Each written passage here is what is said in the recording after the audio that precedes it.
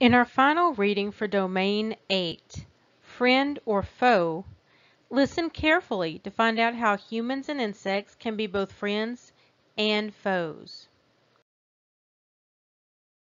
Hi boys and girls! Surprised to see me? I'll bet you were expecting another fabulous insect. Disappointed to see a fellow human being? I have been fascinated with insects since I was in second grade so I wanted to let you know that if you're like me, you might be lucky enough to keep learning about insects your whole life. I am an entomologist, and studying insects is my job. Some people call me the bug lady, but I study much more than bugs. When I was your age, I called everything that creeps and crawls or buzzes and flies a bug. Do you do that sometimes too? Lots of people do, but did you know that a bug and an insect are not the same thing? A bug is an insect, but not all insects are bugs. Confusing, isn't it? Scientists identify true bugs as insects with beak-like mouths. These piercing, sucking mouth parts allow the insect to pierce the leaf or stem of a plant and suck out the plant juices inside. Let's look at a few bugs. This is a stink bug. This is a bed bug. Tree hoppers and aphids are bugs too. Here's one you should recognize, a cicada.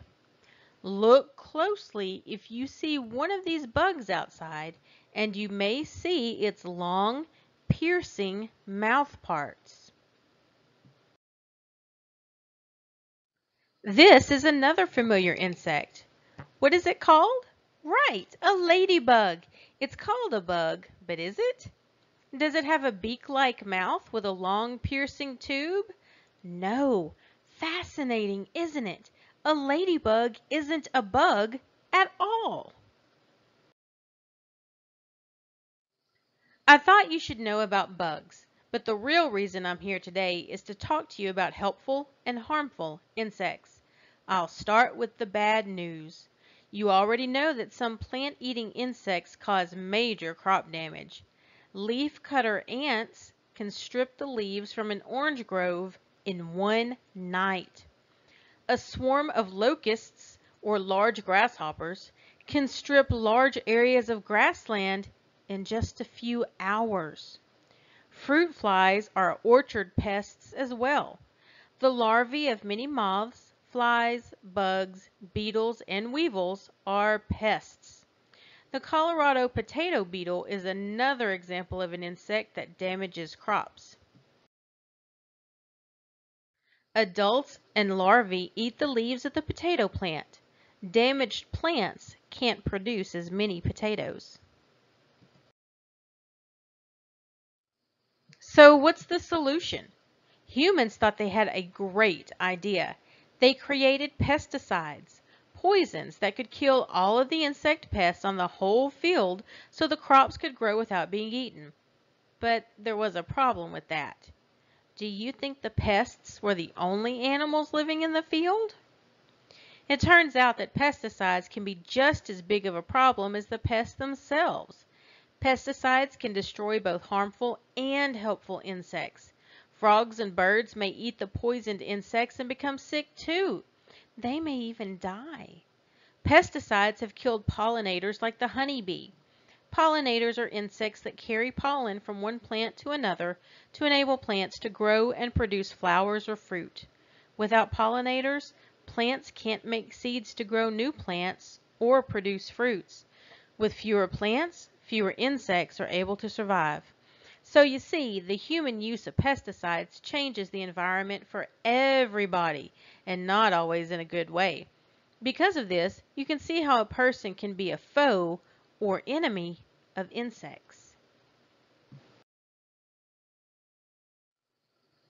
One alternative that is being used by many farmers today is to keep plant pests under control by introducing their natural enemies, one insect against the other. Ladybugs and lacewings are predators that catch and eat aphids. Wasps and ants eat insects harmful to crops as well. I do have a little bit more bad news for you before I get to the good news. Some insects can be dirty. They can spread germs. When flies, ants, and cockroaches walk across our kitchen countertops with the same feet they use to crawl through dirt and rotting plants, they can poison our food and make us sick. Some insects, such as mosquitoes, fleas, bedbugs, and lice, live off host animals. You heard about host plants. What is a host animal? These types of insects can be very harmful to people. The Anopheles mosquito carries malaria, a deadly disease. Hundreds of years ago, fleas that carried deadly bacteria spread the plague, a disease that killed millions of people, or almost one-third of Europe. Today, fleas are more irritating than deadly. That's enough bad news. Are you ready for some good news? There's lots of it. You already know how important honeybees and other plant pollinators are to the survival of the planet. Without pollinators, there would be no beautiful flowers or sweet fruit because the crops would not be pollinated and crops need to be pollinated in order to grow. Scavenger insects, like the dung beetle, are important too. By feeding on dead plants and animals and their waste products, Scavengers break up dead material and return rich nutrients to the soil.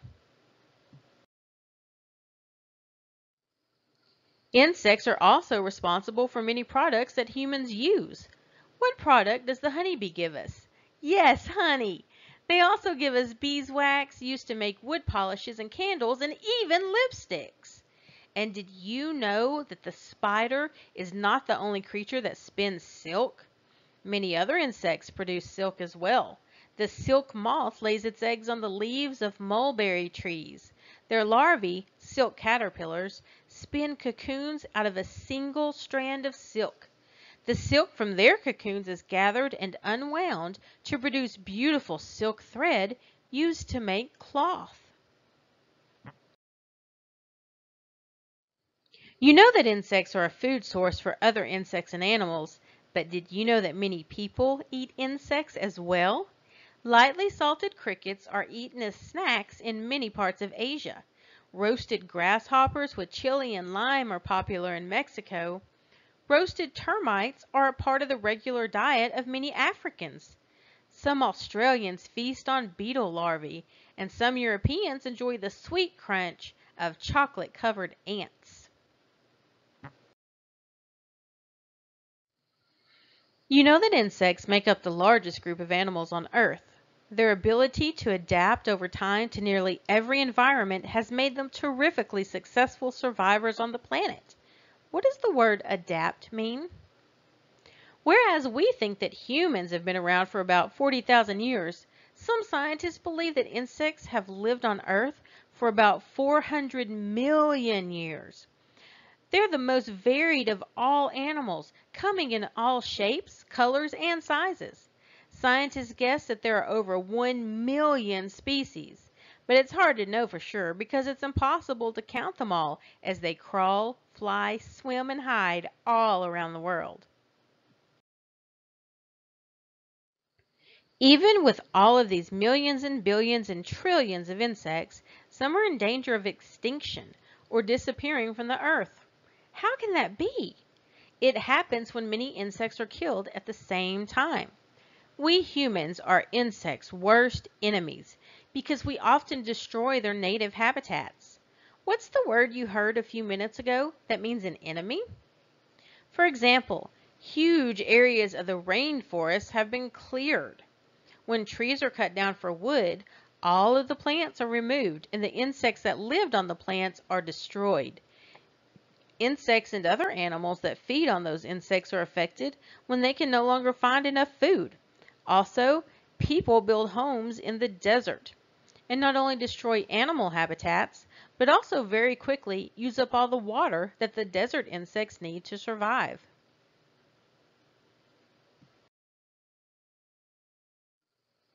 Grasslands are often cleared for planting crops. When the grassland host plants disappear, their visiting insects can't survive.